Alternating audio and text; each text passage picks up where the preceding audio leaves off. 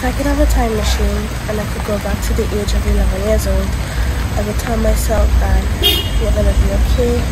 everything is gonna be just fine, you're gonna meet a lot of really nice people who's gonna love you and appreciate you just as you are. All you have to do is put God first and you'll be okay.